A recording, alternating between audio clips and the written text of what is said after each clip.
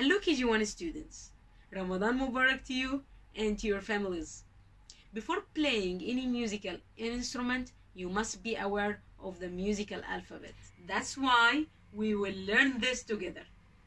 First, let's sing the English alphabet song. Are you ready? Here we go. A B C D E F G H I J K L M N O P Q R S T U V W X Y and Z. Now I know my ABCs. Next time, won't you sing with me? Now I will tell you a secret. In music, we have seven letters only.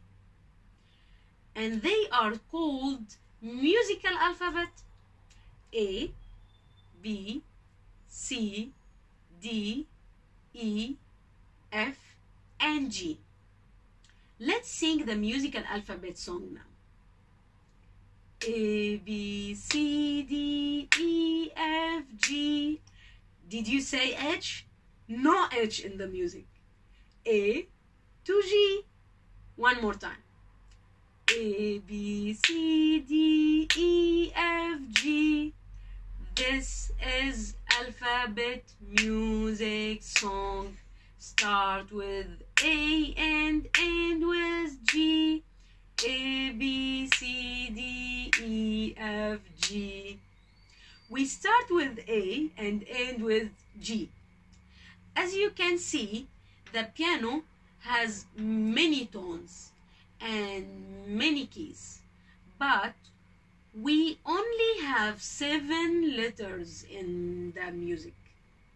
So we will be repeating the musical alphabet in a pattern from A to G.